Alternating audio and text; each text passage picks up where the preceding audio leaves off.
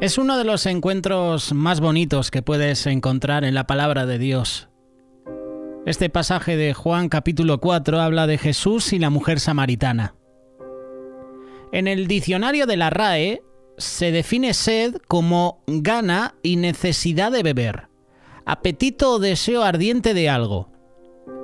Sentimos sed porque tenemos una necesidad vital de agua.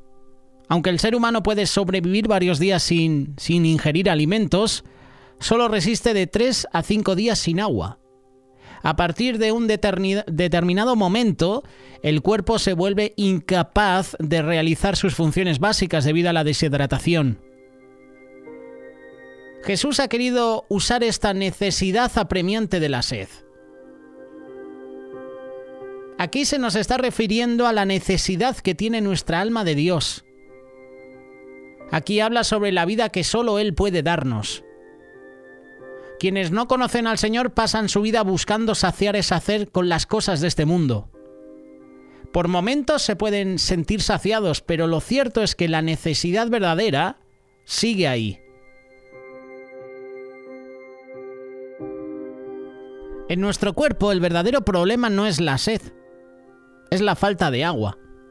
La sed solo es una alarma que nos indica que existe ese problema. Así también, si hablamos en términos espirituales, no basta con sentirnos saciados, sino que debemos realmente haber satisfecho nuestra necesidad más profunda. Muchos piensan que porque se sienten llenos de las cosas de este mundo ya no necesitan a Dios, pero la ausencia de Dios en sus vidas va a terminar por matarlos si no vienen a los pies de Cristo, si no se arrepienten en fe. Hoy vamos a comentar la verdadera sed, la verdadera agua que puede saciar. A través de este pasaje del encuentro de Jesús con la mujer samaritana, vamos a meditar sobre nuestra sed espiritual. Vamos a presentar a Cristo como el único que puede darnos el agua de viva. Ese agua de vida que calma nuestra sed. Y no la calma por un momento, la calma para siempre. El contexto nos muestra que Jesús fue realizando su ministerio paso a paso. Nunca se adelantó, nunca se, se atrasó, siempre llegaba en el momento adecuado. Él tenía pleno control de lo que debía hacer. No es casualidad que justamente Jesús se encuentra con esta mujer. Esta vez Jesús se fue de Judea a Galilea para, para evitar una crisis temprana con los líderes religiosos. En ese tránsito le era necesario pasar por Samaria, así lo dice la palabra. Esto era difícil. Debemos recordar que Jesús era judío y los samaritanos y los judíos no se llevaban nada bien. Pero me gusta esta expresión, le era necesario pasar por Samaria. En los evangelios, en la traducción le es necesario lo menciona varias veces. En el pasaje de, de Zaqueo, por ejemplo, Zaqueo, desciende del árbol porque me es necesario ir a tu casa hoy. Jesús, siendo un adolescente, le dice a sus padres, a, a José y a María, ¿por qué me estabais buscando? ¿No sabéis que los negocios de mi padre me es necesario estar? Es decir, que eso es lo primordial, eso es lo urgente, eso es lo prioritario. Y a Jesús le era necesario pasar por Samaria. ¿Quiénes eran los samaritanos? Para situarnos. Era una nación que surgió de la mezcla racial, la mezcla cultural, religiosa entre los israelitas y los colonos paganos. Esos colonos paganos que eran los, los asirios que se instalaron en la región cuando la conquistaron. Puedes leer más información en Segunda de Reyes capítulo 17, versículos del 24 al 36. Pese a ese origen israelita, los samaritanos estaban dentro del grupo que hizo la vida imposible a los judíos cuando volvieron del exilio en Babilonia no los dejaban reconstruir su templo y sus muros, así que entre judíos y samaritanos había una rivalidad histórica. Hay un pasaje donde dos discípulos salen de, una aldea de samaritanos y les dice, oye, Jesús quiere que, clamemos a Dios para que venga eh, eh, fuego del cielo y los consuma. Fíjate la rivalidad que había en ese momento, que hasta dos discípulos le dicen a Jesús eso. ¿Quieres que, oremos para que les consuma a todos? ¿Para que los maten a estos samaritanos? A pesar de toda esta historia que había con Samaria, Jesús debía pasar por allí. Era parte de su ministerio. Era para un encuentro que estaba preparado desde la eternidad. Jesús se iba a revelar a esta mujer como el agua de viva, como el Mesías que había de venir. Ese Mesías que también los samaritanos esperaban. Jesús llegó al lugar que todo viajero visitaría primero, el pozo. Yo si ando horas y horas en medio de un desierto y sé que hay un pozo cerca, ¿dónde voy a ir? Al pozo, a saciar mi, sed, a hidratarme un poquito. Dice la palabra que estaba cansado Jesús. Sí, sí, Jesús también se cansó. Consideremos que había viajado kilómetros a pie, que los caminos de ese tiempo no estaban pavimentados. Se trataba de un terreno muy accidentado. Además era la hora sexta, es decir, cerca del mediodía, así que el sol estaba pegando pero increíblemente. Allí no había cremas solares, no había protección solar. Jesús estaba agotado, estaba sediento. Encima el polvo cansa, ¿verdad? Cuando estás en un desierto, ¿eh? Eh, respirando polvo, eso cansa también. El Evangelio de Juan nos deja claro que Jesús es Señor y Dios, pero también demuestra que fue hombre. Por eso se cansó. Por eso puede compadecerse de nuestras debilidades. Cuando estamos cansados, nuestro egoísmo aflora más que de costumbre. E incluso podemos demostrar ser irritables. ¿Cuántas veces has intentado hablar con una persona cansada y te dice, no me molestes, que estoy muy cansado, me duele la cabeza, llevo un día muy largo? ¿Cuántas veces? Seguro que muchas. Cuando estamos cansados no, no deseamos servir, queremos ser atendidos. Pero Jesús pensó en lo que él podía entregar. ¿Cómo podía hacer bien a esta mujer? Él no vino a ser servido, él vino a servir, vino a entregarse por nosotros, para nuestra salvación. Y aquí queda claro. Así estaba Jesús junto al pozo, en el mediodía, cuando vino una mujer a sacar agua. Pero había algo curioso. Lo normal era que las mujeres hicieran esta tarea en grupo, llevando sus cántaros.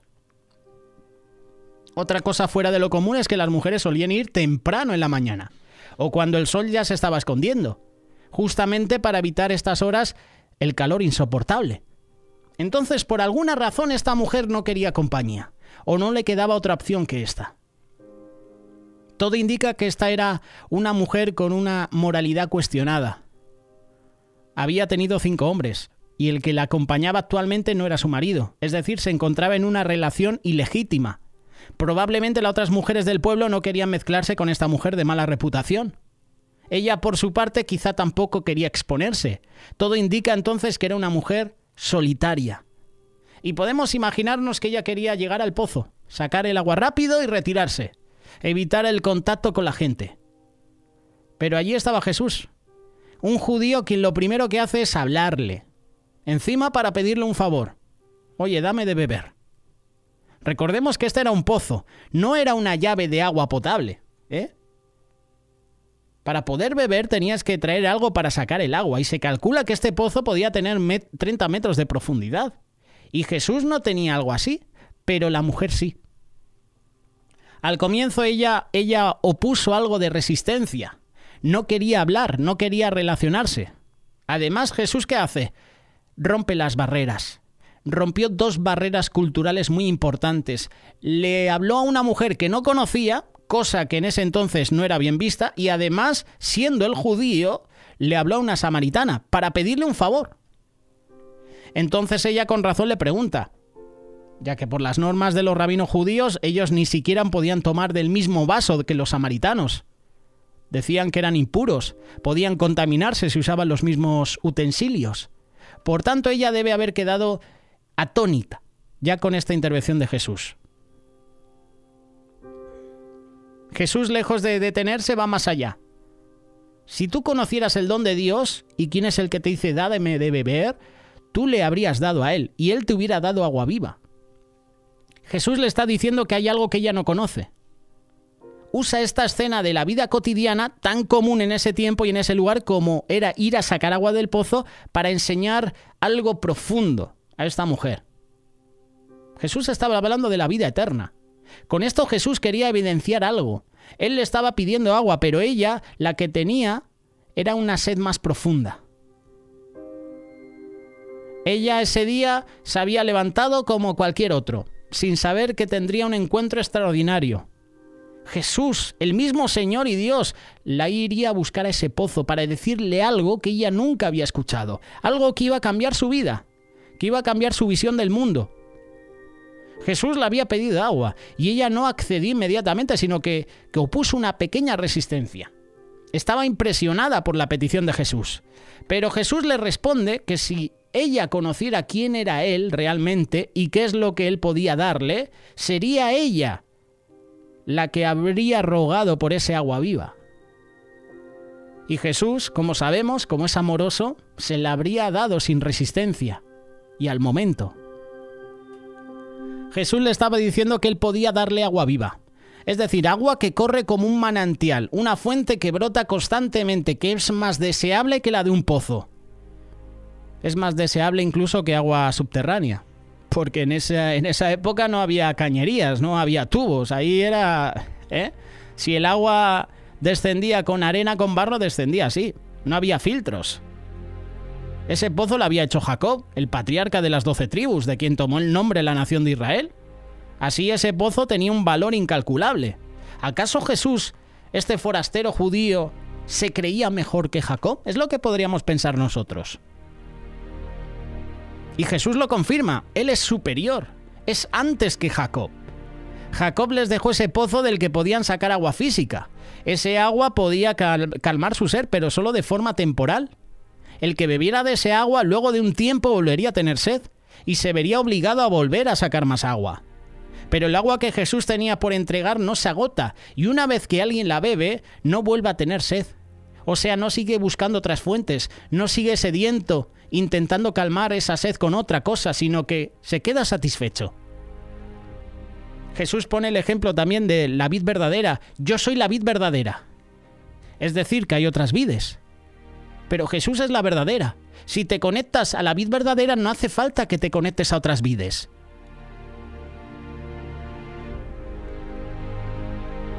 Ahora tratemos de, ponernos en la mente de, la mujer samaritana. Diariamente tenía que caminar bastante con un cántaro para llegar a un pozo.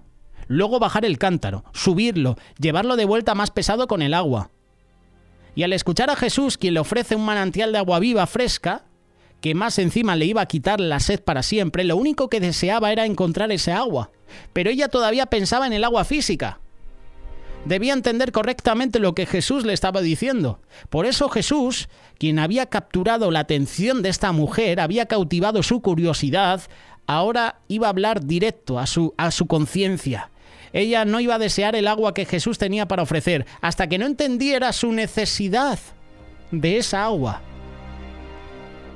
¿Sentimos nosotros necesidad por esa agua que nos ofrece Jesús? Esa es la pregunta. ¿Tienes sed de Jesús? Jesús le pidió que llame a su marido, y ahí se revela el drama de la mujer. Ella trata de ocultar su vergüenza. Le dice a Jesús que no tenía marido, pero Jesús conocía perfectamente la historia que había detrás. Ella había tenido cinco maridos, y el que tenía actualmente no era su marido, sino que era un hombre con el que tenía una relación ilícita. Y en ese tiempo era fácil que los hombres dieran carta de divorcio a sus mujeres si ellas no eran de su agrado como la mujer. Estaba en una posición social vulnerable, precaria, era despreciada por su marido, quedaba en la mayor fragilidad. Probablemente haría todo lo posible por agradarlo, para no quedar desamparada. Ella había pasado por varios hombres y el sostener una relación ilícita la ponía en una posición vergonzosa como mujer. Las demás mujeres probablemente la juzgaban en público, la evitaban, se burlaban de ella, la rechazaban y ella necesitaba un hombre que pudiera protegerla, cubrir sus necesidades. Se había entregado a esta relación de pecado. ¿Y ella qué hace? Pues trata de ocultar su vergüenza a Jesús. Pero se ve expuesta, se ve desnuda delante de él, ya que Jesús sabía absolutamente todo sin siquiera conocerla. Ella estaba ante alguien que podía saber quién era ella realmente. Y aún así se había interesado en hablarle, llegar a su corazón, ofrecerle esa agua que él solo podía dar. Cuando la mujer ve que Jesús pudo conocer lo que ella había hecho, su percepción sobre él comenzó a cambiar. Para ella, este forastero judío ahora era un profeta, lo que significaba en su mente que Jesús podía conocer lo secreto, podía conocer cosas o hechos que él no había presenciado y sin que nadie le contara. Jesús estaba revelando a esta mujer, estaba revelando quién era Él. Ella de alguna manera entendió que se trataba del Señor. La respuesta de Jesús es de una profundidad impresionante. Estaba revelando a esa mujer algo que ni los escribas más preparados de Jerusalén conocían.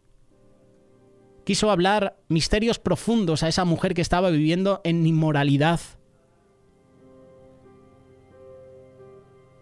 Quiere decir que el templo físico hecho con piedras inertes era una sombra de ese templo que el Señor iba a edificar como piedras vivas, que son los creyentes. El Espíritu Santo habita en la iglesia, y ese es el templo definitivo. Y esta mujer luego empieza a predicar. Empezó a evangelizar a los de a los del pueblo.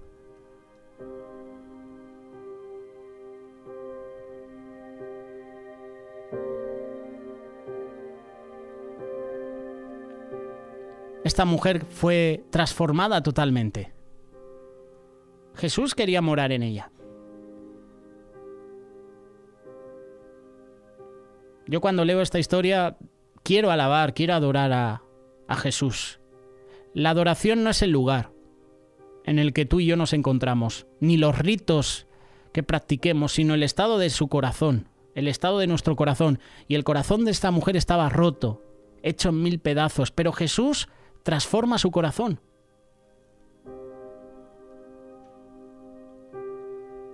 En esos minutos que habían pasado en medio de una labor cotidiana como ir a buscar agua al pozo, la vida de la mujer había cambiado para siempre. Y es que en ese momento había comenzado a vivir realmente, había bebido de ese manantial de agua viva. Veía todo distinto. Lo que Jesús dijo a la mujer samaritana nos recuerda también a lo que dice Apocalipsis capítulo 21, verso 6.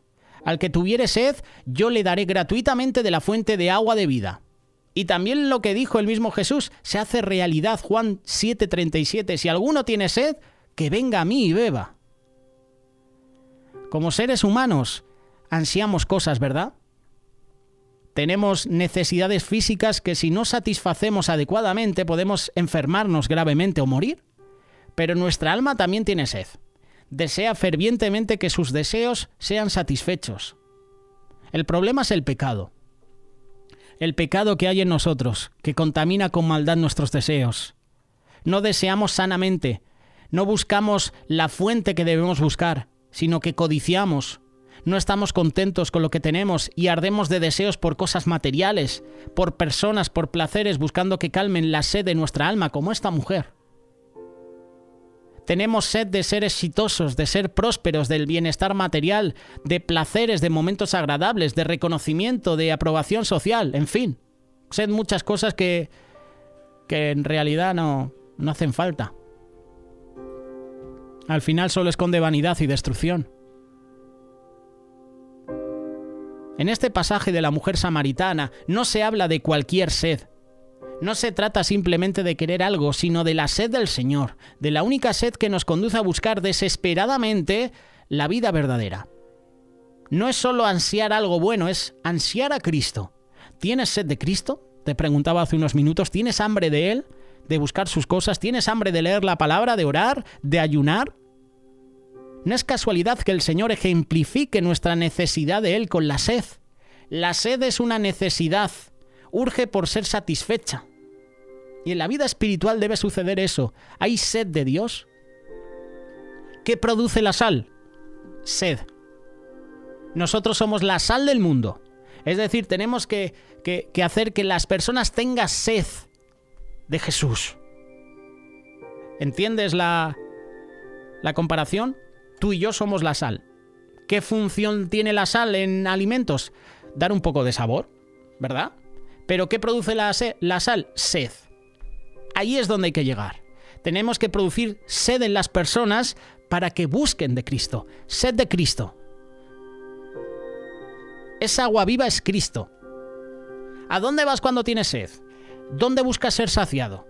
¿A qué fuentes acudes para satisfacer tu, tu, necesidad? Cuando te sientes solo, cuando estás angustiado, cuando te ves en aprietos, en pruebas, cuando quieres escapar del vacío, ¿a dónde vas? ¿A qué fuente acudes? No seas como el pueblo rebelde de Israel, a quienes Jesús acusó diciendo, dos son los pecados que ha cometido mi pueblo. Me han abandonado a mí, fuente de vida, fuente de agua viva, mejor dicho, y han cavado sus propias cisternas, cisternas rotas que no retienen agua. Jeremías capítulo 2, verso 13.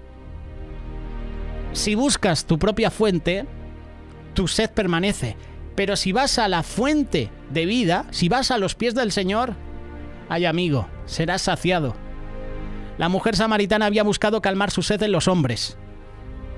Había idolatrado estas relaciones, buscaba aquel que pudiera llenar su vida. Ella quería ser todo para él, pero no había encontrado más que vergüenza. Y muchas veces nosotros actuamos así, hacemos esto, buscamos en una relación con una persona lo que solo Cristo puede dar y vamos encontrando desilusión tras desilusión y nunca podemos tener contentamiento. Algunos quieren saciar su sed en sus hijos. Buscan que ellos completen su vida, pero solo consiguen dañarlos, confundirlos. Otros buscan saciar su sed llenándose de, entretenimiento, esperando olvidar el sinsentido, el cansancio de su existencia, pero no pueden encontrar satisfacción verdadera. Otros se vuelven a buscar conocimiento, buscan sentirse mejores que el resto de las personas. A los demás los consideran mediocres. Otros cuando sienten el vacío en sus vidas intentan llenarlo con compras. Otros buscan el esoterismo, los misterios. Otros se dedican a la vida sana, hacer deportes, culto al cuerpo, que está bien, ¿eh? Estar en forma, pero ya el culto al cuerpo, adorarse a uno mismo, Otros intentan saciar su sed en los placeres, adicciones, pornografía, alcohol, drogas, apuestas en los juegos. Todas esas cosas envuelven totalmente nuestro ser. Y claro, como estamos esclavos al pecado, pues tenemos sed del pecado. Tenemos sed de esos placeres, de esas adicciones. Y así se pueden enumerar muchas cosas, pero todas ellas son cisternas rotas, sin agua.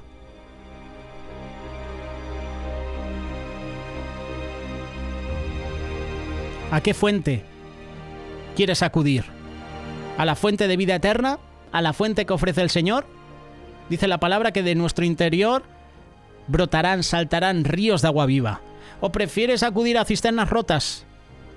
Como la de Jacob, ese pozo, que seguramente tendría barro, suciedad, impurezas, bichos, insectos, animales.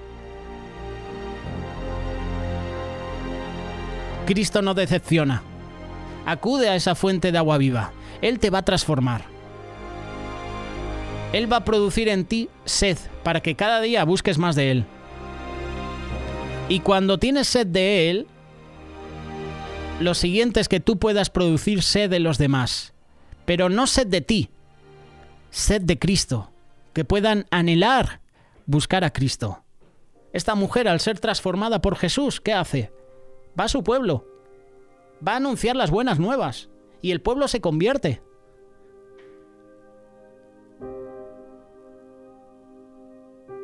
Solo Jesús puede saciar esa sed en nuestra vida. Solo Jesús. No tu esposo, no tu esposa, no tus hijos. Ellos pueden saciar una sed que puede ser momentánea. Pero Jesús, oh, si bebes del agua que ofrece Jesús, no tendrás sed jamás. Jesús es la fuente de vida. Ahora depende de nosotros acudir a esa fuente.